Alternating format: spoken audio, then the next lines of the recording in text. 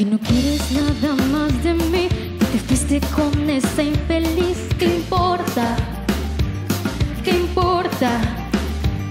Que me va a matar la depresión, que voy a vivir en el alcohol. ¿Qué importa? ¿Qué importa? Que te fuiste sin decir adiós, que no dormirás en mi colchón. ¿Qué importa? Ay, ensuciaste mi reputación, que te vale madres este amor. ¿Qué importa? Ay, ¿qué importa? Que te quise demasiado y que nadie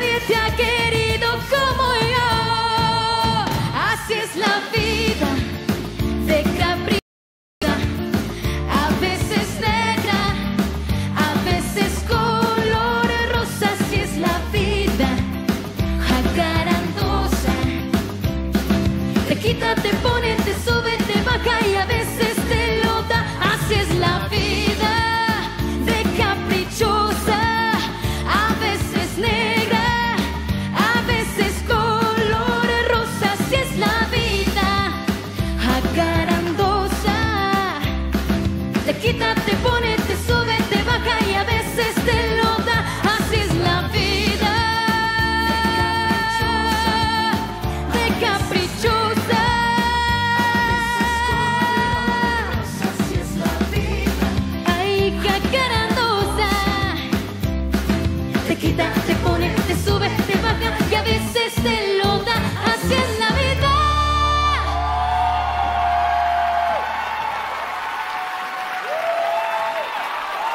¡Pau, pau, pau! ¡Paola! ¡Arriba Guatemala, caray! ¡Ay, ay, ay! Yo quiero preguntarle a los jueces, porque sí me la zarandearon la semana pasada. ¿Se renovó, dio lo que tenía que dar aquí en el escenario? ¿O qué? Empiezo con el señor López Gavito.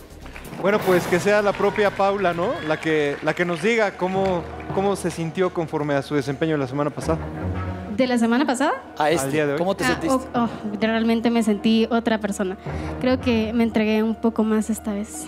Ok, coincido contigo. Hubo una entrega total en el escenario, que eso es lo que pienso que toda la gente quiere ver, particularmente tú, por tu crecimiento. Eh, pero hay algo que me... Todavía no termina el señor Gavito. Vamos Y a hay algo que me, que me llama mucho la atención, que veo que la producción cada vez se esmera más en crear las coreografías, en los visuales, en la escenografía. Y tú te, te comió todo a ti. Y era todo para apoyarte, para apoyar tu interpretación, Paula. Y te vol- volviste como hacia adentro, ¿no? Es decir, te engulló la propia producción. Es muy importante que trabajes siempre en un lucimiento escénico donde vayas hacia adelante y te veas central. Pero en definitiva creo que hay un crecimiento y vas por buen camino. Gracias. Venga. Yo siento que fue benévolo mi querido juez Arturo López Gavito. Voy con Horacio Villalobos. A ver, hay un punto de lo que dijo mi compañero, el señor López Gavito, que tiene toda la razón. Busquen en YouTube, hay una cantidad de especiales musicales con Liza Minnelli, con Shirley MacLaine, con estas glorias. Y tienen grandes producciones y en ningún momento la producción las come. En esta ocasión, la, la puesta en escena que hacen en este programa es sorprendente y lo hacen en vivo. En verdad, este programa tiene una factura impecable. Entonces, te comió. Es decir, esta canción no me dijo nada nuevo que me hubiera gustado saber qué tenía que decir Paola al respecto de esta canción. Es decir, hablando justamente del tema que traigo hoy yo, que es la sinceridad al cantar. Porque la sinceridad te hace único y repetible. Entonces, así es la vida, jacarandosa, me vale madres, ya sabes todo esto que dice la canción. Pero daba igual quién lo cantara. Es decir, tú ya tienes tu nivel, pero yo te quiero exigir más, querida. Es decir, repito, tú tienes que ser el centro del escenario independientemente de que tengas 14 bailarines, bailarines, un trolebús y fuegos artificiales. Tú tienes que ser el spot. Y yo no vi eso hoy. y yo quiero que crezcas más. Quiero que seas una cantante contundente y no lo estoy viendo. Bien dicho, señor Horacio Villalobos. Voy con Edwin Luna. Gracias. Pau, um, a mí en parte sí me gustó, hay un crecimiento. Eh, quiero dejar una cosa clara de lo que están diciendo mis compañeros porque creo que así es.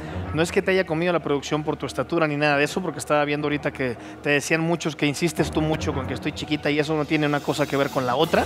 Simplemente que yo, yo te sentí un poquito más conectada, así coordinada con lo que estabas haciendo, pero te notaba un poquito insegura probablemente pensando en que la semana pasada con nosotros te fue de la patada, entonces tratando de complacernos y desconectada un poquito con tu canción.